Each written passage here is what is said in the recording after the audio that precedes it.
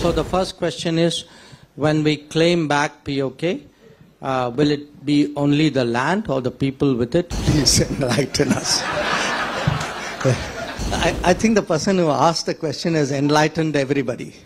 Uh, so the first question is, when we claim back POK, uh, will it be only the land or the people with it? If the people too, then the whole of Pakistan will be part of POK.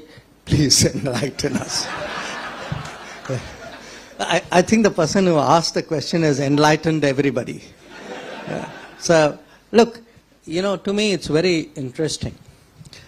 Till Article 370 was abrogated and settled, actually I didn't even see much of a POK debate in this country.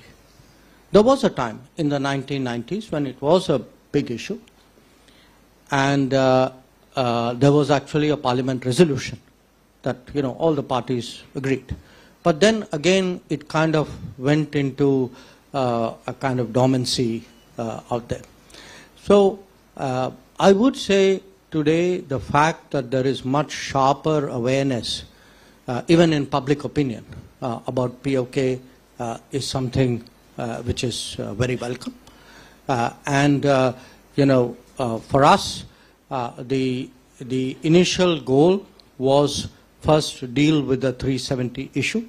The country has already seen after five years how much of a difference there is today in the ground situation in Jammu and Kashmir as a result today of it being fully integrated with this country. So that part is integrated. There is the other part. So watch part two of the series.